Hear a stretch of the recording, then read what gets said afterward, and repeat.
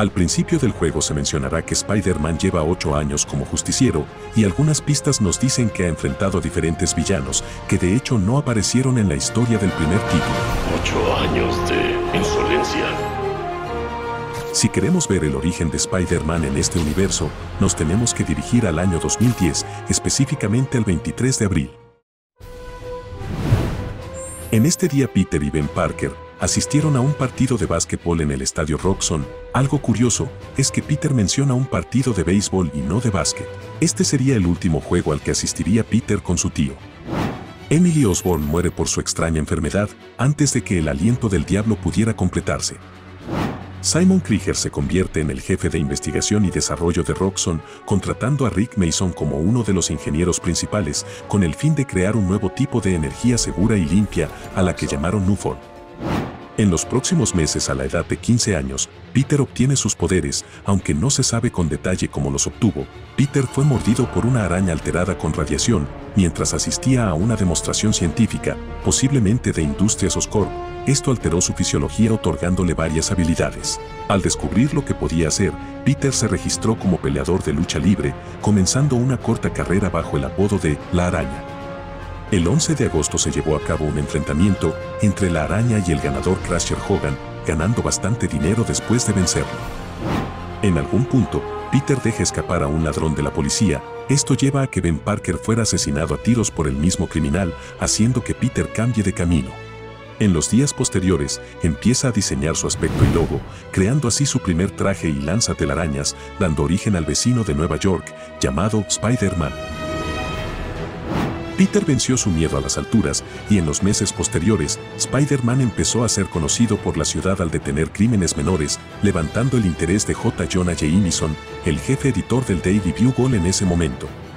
Por otro lado, uno de los hombres más conocidos e influyentes de Nueva York, Wilson Fisk se había convertido en uno de los jefes del crimen más poderosos de la ciudad. En un momento del 2010, Fisk se enteró de que uno de sus ejecutores fue golpeado y arrestado por Spider-Man. Luego de sacar a su ejecutor de prisión a través de la fianza, Kingpin entendió que Spider-Man sería una amenaza para sus operaciones e hizo su misión personal matarlo. Tiempo después, Herman Schultz inventa un par de guanteletes que liberan ondas de choque, permitiéndole convertirse en un ladrón exitoso y llamándose a sí mismo Shaker. Herman fue el primer villano que causaba tanta destrucción al detenerlo y también fue la causa del primer titular enfocado a Spider-Man por el Daily Bugle. Para el 2011, Peter Parker gana el premio de ciencias de Wilson Fisk, pero rechaza el dinero, sin embargo, utiliza la excusa de haber aceptado para dejar de utilizar gafas. Entre el año 2011 y 2012, Spider-Man se enfrentó en varias ocasiones contra Kingpin, perdiendo constantemente, pero la primera vez que pelearon, Fisk utilizó una katana del siglo XIV para matarlo, aún así Spider-Man lograría escapar, para luego desmayarse en el jardín de Mary Jane, revelándole su identidad. Peter también había conseguido un trabajo como fotógrafo independiente con el Daily Bugle, asignado para tomar fotos de Spider-Man en acción y compartiendo tiempo con Betty Brandt, Gloria Grant, Robbie Robertson y Eddie Brock. Si bien el trabajo trajo dinero, sus imágenes se usaron a menudo en una campaña de desprestigio en contra del arácnido. No se sabe concretamente cuándo o cómo, pero Max Dillon obtuvo sus poderes en un accidente no especificado, convirtiéndose en el primer supervillano de Spider-Man. En su primer encuentro, Spider-Man lleva unos guantes aislantes para pelear, causando que Max se queme a sí mismo por su propia corriente eléctrica, dejándole una marca particular en su cara. Después de un tiempo, Electro deja una ola de asesinatos por la ciudad, y el Daily Bugle utiliza las fotos de Peter Parker para culpar a Spider-Man por la masacre. Esto hace que la prensa y la policía lo consideren como una amenaza y un cómplice de Electro. Incapaz de soportar trabajar allí después de ser calificado como asesino, Peter decide renunciar al Daily Bugle, llevándose una tarjeta de buena suerte como recuerdo. El nombre de Spider-Man sería limpiado luego de atrapar a Electro y probar su inocencia. Pasando al 2013, Peter se matricula en la Universidad Empire State. Y en el mismo día, conoce por primera vez a su ídolo Otto Octavius, gracias a la tía May. El 3 de octubre, Martin le abre el centro de ayuda Fist en Chinatown, junto a May Parker. Jameson financió un procedimiento experimental para crear algo capaz de rivalizar contra Spider-Man y tener al héroe que necesitaba Nueva York. Mac Gargan fue el candidato elegido para probar la fusión entre un cuerpo humano y un traje de combate avanzado. Gargan ya era un criminal con varios registros delictivos, pero los investigadores y Jameson lo eligieron creyendo que sería controlado. Claramente esto salió mal, y creó a Scorpion, entendiendo sus nuevas habilidades, Gargan las aprovecharía para ganar dinero fácil. Después de algunos enfrentamientos contra Spider-Man, Scorpion es finalmente detenido y encarcelado en Raft. Desde entonces, Gargan demandó repetidamente a Jameson por financiar el experimento en primer lugar, pero esas demandas no llevaron a nada. Adrian Toomes era un ingeniero electrónico que, en un momento desconocido decidió recurrir al crimen profesionalmente, creando un traje con la capacidad de volar y lanzar proyectiles. Se enfrentó a Spider-Man, pero siempre lograba escapar gracias a la velocidad y altura que alcanzaba. En una ocasión rompió los lentes de Spider-Man hasta casi dejarlo ciego, pero esto no era más que el principio de varios enfrentamientos contra Vulture, hasta que en años posteriores, el trepa muros lo lograría detener con un dispositivo y encerrar en Raft. En agosto, Peter recibe una tarjeta de identificación para su semestre como asistente docente en la Universidad Empire State. Entre el 2014 y el 2017 podrían haber pasado varios eventos, primero veamos lo que se ocurrió en esos años, y luego lo que podemos suponer. El 5 de octubre de 2014, Peter llena una solicitud de trabajo en la cafetería de la universidad, pero nunca la envía. Durante este año, Norman Osborn es elegido alcalde de Nueva York, mientras seguía administrando Oscorp. En 2015, Harry Osborn se convierte en miembro del club nocturno Deep End y trabaja en Industrias Oscorp. El 22 de septiembre, Miles y Phil Mason asisten juntos a un concierto. El 21 de noviembre, Peter asiste a una entrevista de trabajo en Oscorp, pero la rechaza. El 24 de mayo de 2016, Scorpion escapa de Rap y es acusado de asesinato en primer grado. Miles, Finn y Rick asisten a una convención de ciencias de Oscorp, topándose con Peter Parker y Otto Octavius. Rick Mason empieza a sufrir varios efectos secundarios por trabajar en Nuform, informa de su situación a Krieger, pero este hace caso omiso a su advertencia. A lo largo de este año, Peter empieza una relación amorosa con Mary Jane. Para el 2017, Peter se gradúa de la Universidad Empire State con una licenciatura en biofísica. Alrededor del mismo año, Otto Octavius revisa la tesis de neurología de Peter y lo contrata para trabajar en Industrias Octavius. El 10 de mayo, Rick Mason y Finn intentan destruir el Nuform en Roxxon, mientras los dos proceden a apagar el rector. Simon Krieger lo activa, matando a Rick en el proceso. Finn escapa de Roxxon jurando venganza desde ese día. 18 de julio, Harry Osborn comienza su tratamiento para curar su enfermedad. 18 de noviembre, Peter y Mary Jane solicitan un apartamento para mudarse juntos, pero terminan separándose. Antes de ir al libro precuela, veamos los eventos que no se sabe cuándo ocurrieron, pero que podrían estar ubicados en estos años. Spider-Man conoce a Black Cat, enfrentándose varias veces a ella y creando una relación más personal entre ambos. Felicia renunció a su vida criminal para estar con Peter, llegando al punto de conocerse con May Parker. Sin embargo, esta relación duraría poco, al enterarse Spider-Man de que Felicia seguía robándole a los criminales, lo que provocó que Black Cat abandonara Nueva York.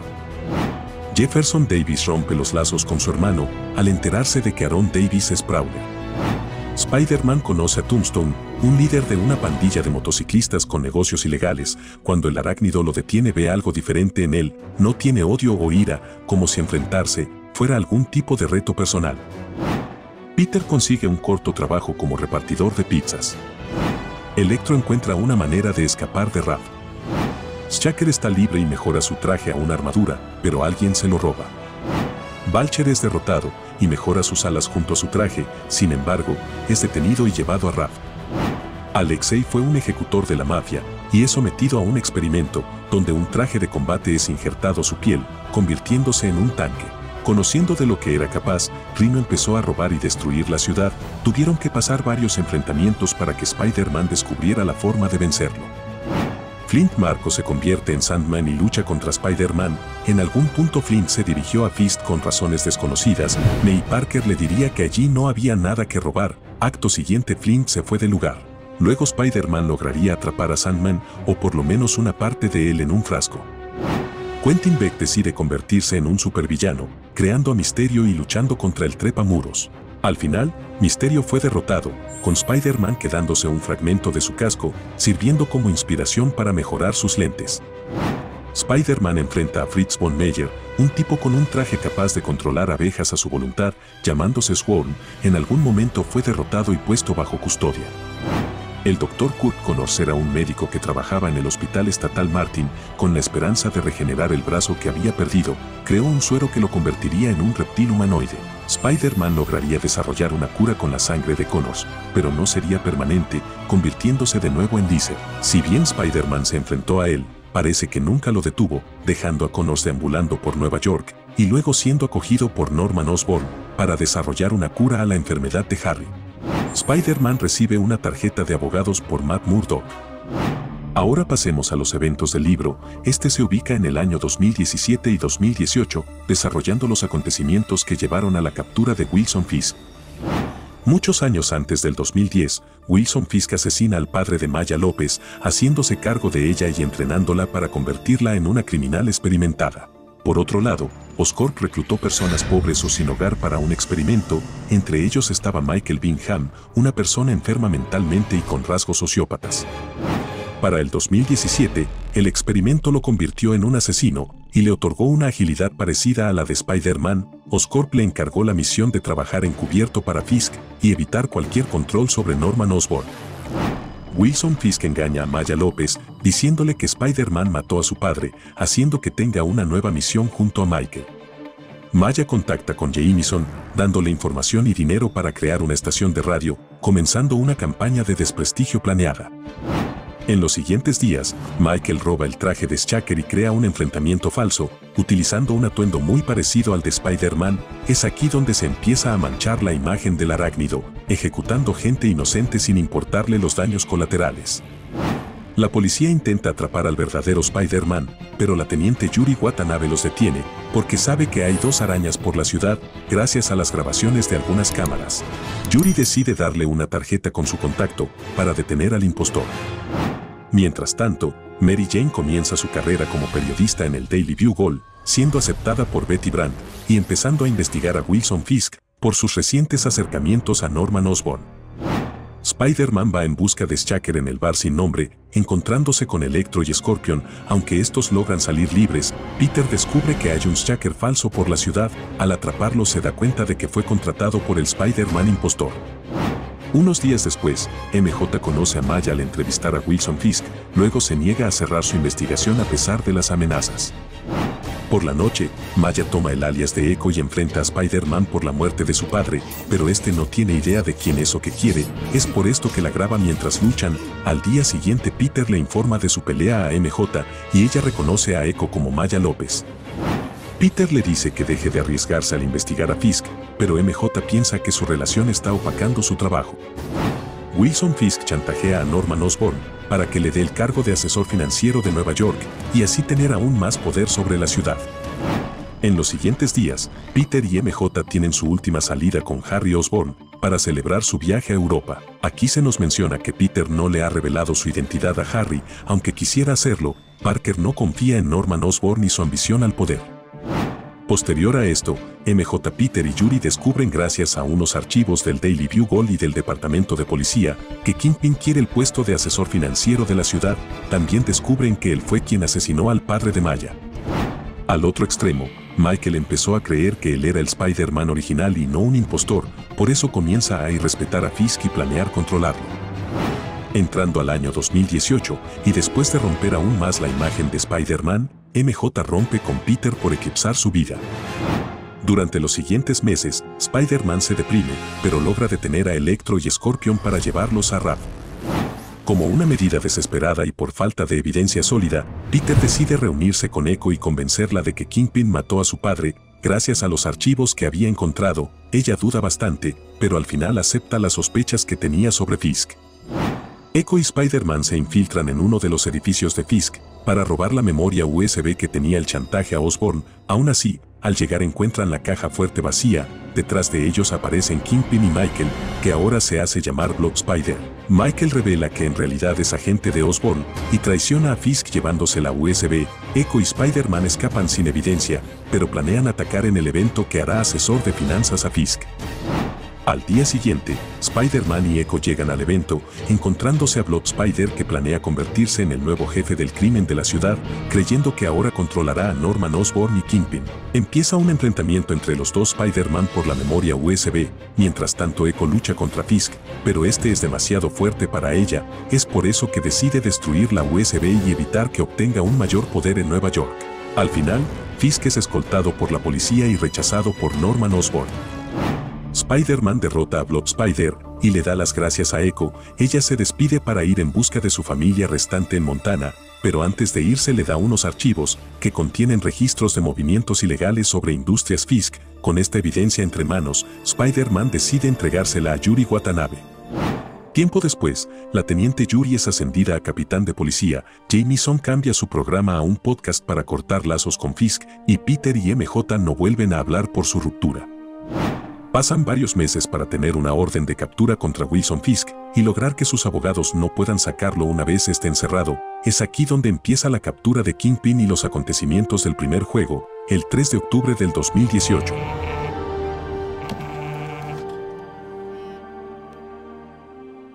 Atención, movilización de nivel 4, ubicación Torre Fisk. ¿Fisk? Hubo bastantes acontecimientos durante los primeros ocho años de Spider-Man, espero te haya entretenido e informado sobre una parte de este universo que no se muestra a simple vista. Dale like y suscríbete para más videos de Marvel Spider-Man. Gracias por ver.